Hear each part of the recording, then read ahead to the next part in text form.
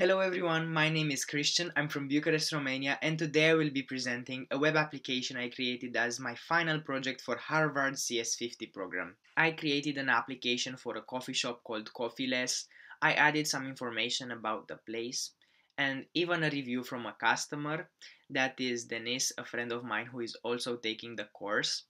I added a map with a fictive location and some contact details. There is also a menu button that can be seen in the navigation bar. If we click on the menu button, we are going to see an actual menu with some products, their prices, and we can add them to a shopping cart. We can also explore them by seeing a gallery.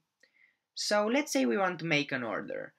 Let's add a latte, some American pancakes, and two avocado toasts.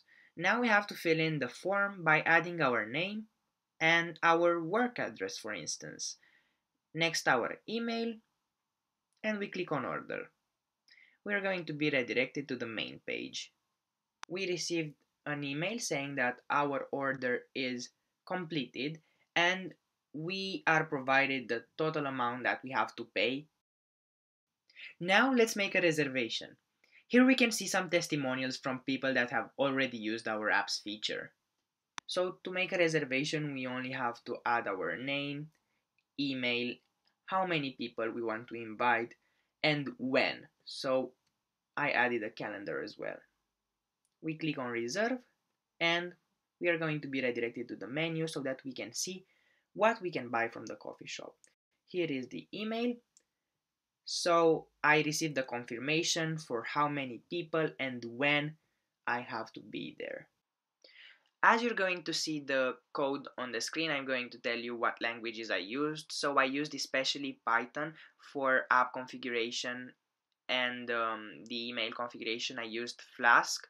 Um, so it was a bit difficult in the beginning, but I managed, especially with the email function.